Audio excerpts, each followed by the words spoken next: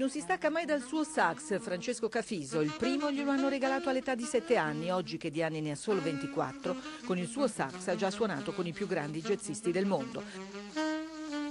In questi giorni a New York per fare un nuovo disco, la Sicilia, la sua terra, non l'ha mai lasciata, ma è l'energia di Manhattan che gli dà nuove ispirazioni. È tornato in America dove aveva suonato all'insediamento di Obama e dove l'American Society lo ha premiato con la Legione al Merito, un'onoreficenza per gli italiani che si sono distinti con il loro lavoro negli USA. Il legame con la mia terra rimane fondamentale e questo legame eh, cerco di farlo emergere sempre attraverso la mia musica, scrivendo brani ispirandomi alla Sicilia. Si può quindi scegliere la musica come lavoro?